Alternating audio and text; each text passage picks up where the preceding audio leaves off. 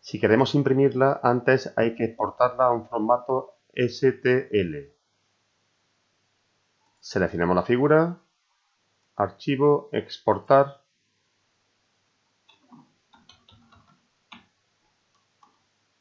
Figura 1, formato STL. Y abriremos este archivo con Cura.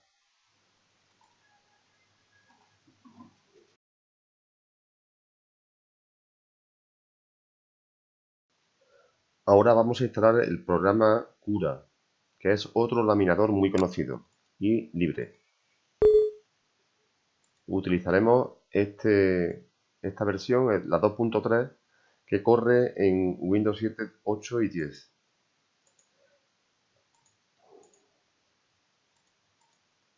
De esta forma podremos abrir archivos STL, OBJ y 3MF. Instalamos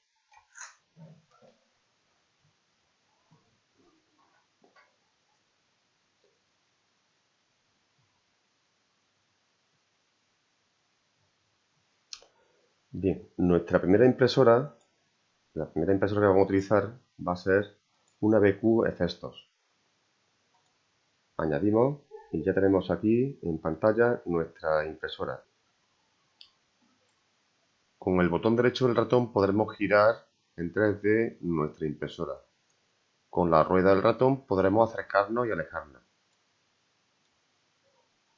Lo primero que haremos será entrar en en configuración y en general vamos a cambiarlo a español. Preferencias general español. Cerramos, cerramos, cura y vamos a volver a abrirlo. Ya lo tenemos en español. Vamos a abrir nuestra primera pieza. Abrir archivo y en el escritorio teníamos el llavero, fijaos que ya lo tenemos situado perfectamente en el tablero o en la mesa caliente. Con el botón izquierdo podemos desplazarlo de un, sitio a otro. Con la rueda nos acercamos y con el botón derecho podemos girar en 3D. Bien, con el objeto seleccionado podemos, veis que podemos desplazarlo. Podemos escalarlo hacerlo más grande, si lo deseamos. Seleccionamos, podemos girarlo.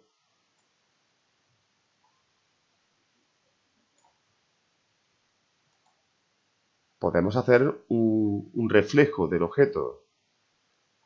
Bien, ahora vamos a ver cómo podemos configurar de forma muy básica nuestro cura.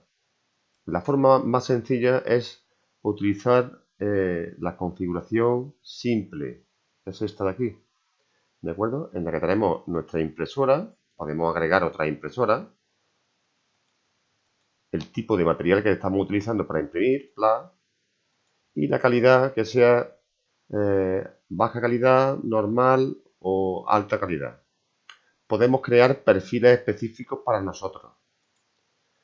O bien podemos personalizar nuestra forma de impresión.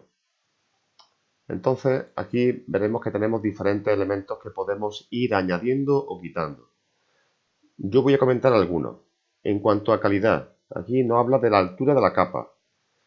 Podemos ajustar, al picar aquí en el engranaje, podemos actuar, mm, indicar qué elementos queremos que sean visibles en la configuración y cuáles no. Entonces, altura de capa. Eh, altura de capa inicial, nos interesa, grosor de la pared, grosor inferior, superior y grosor inferior.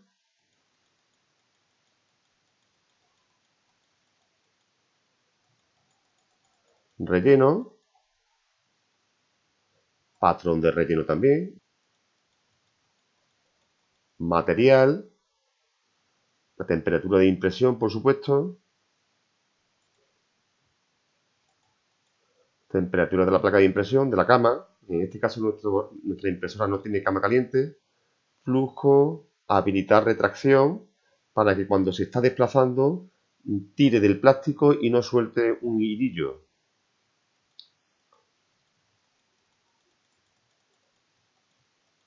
Velocidad, velocidad del relleno, velocidad de la pared, velocidad del desplazamiento de un punto a otro,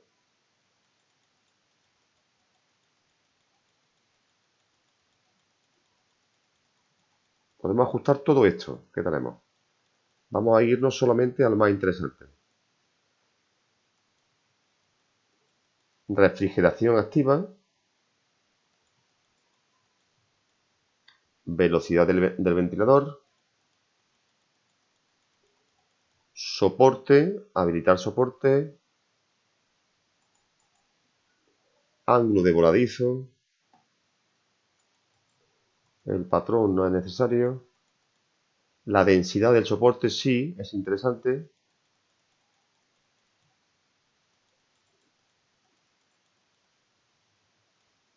En caso de extrusor doble, nada, esto lo quitamos porque no lo tenemos. Cerramos. Pues fijaos, todo lo que hemos ido rellenando ¿eh? está ya aquí en personalizado.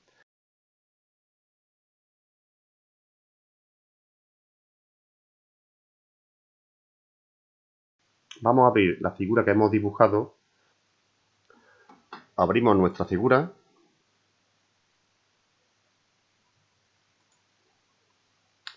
Y pulsando en el botón derecho del ratón podemos girar la plataforma de nuestra impresora. Seleccionando la pieza, en este botón podemos mover la pieza de sitio. Con este podemos escalar la pieza y hacerla mayor o menor, manteniendo o no manteniendo la escala uniforme. Con esta opción podemos girar la pieza en los tres ejes. Siempre hay que buscar la posición más adecuada para la impresión. Si yo, por ejemplo, quisiese imprimir la pieza en esta posición, aquí, en este voladizo, al soltar el plástico caería sobre la mesa de extrusión. Entonces, para hacerlo así, tendríamos que irnos aquí y habilitar el soporte para que nos genere una, una estructura que soporte la pieza en esta posición. Pero como en este caso la impresión más adecuada es así, la dejamos.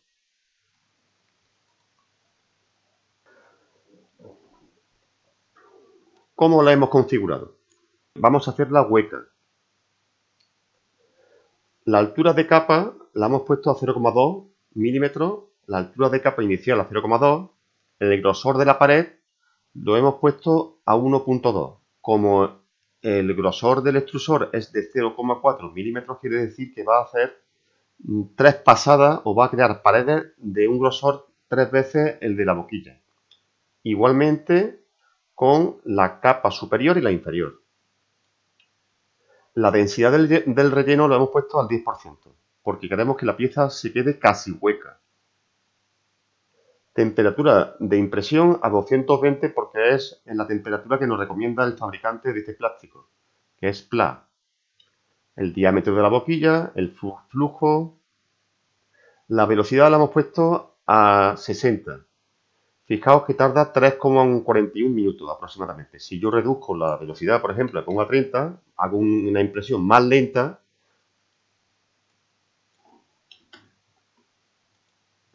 irá aumentando el tiempo de impresión. Cuanto más lenta imprima, más tiempo de impresión y más calidad. Vamos a ponerlo a 50 para que quede una impresión aceptablemente buena.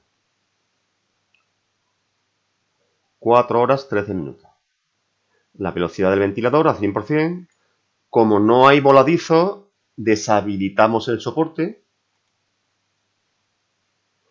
Y eh, la adherencia de la placa, si la pieza tiene muy poca superficie de contacto con la mm, mesa de extrusión o con la cama caliente, es conveniente crearle un borde.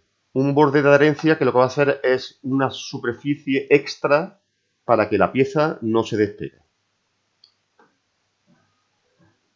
En cuanto a visualización, rayo X sería para verla como si fuese transparente. Y si seleccionamos capas, lo que hace es que nos muestra el proceso de impresión. Empezaría por crear una capa totalmente sólida, digamos, una superficie, ya empezaría a fabricar una estructura a un 10% de relleno.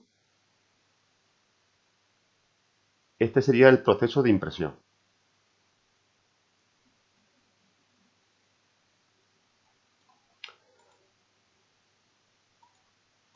Ya que tenemos seleccionado las características de la impresión, simplemente le damos a guardar en la unidad extraíble y se nos va a guardar dentro de, la tarjeta de memoria.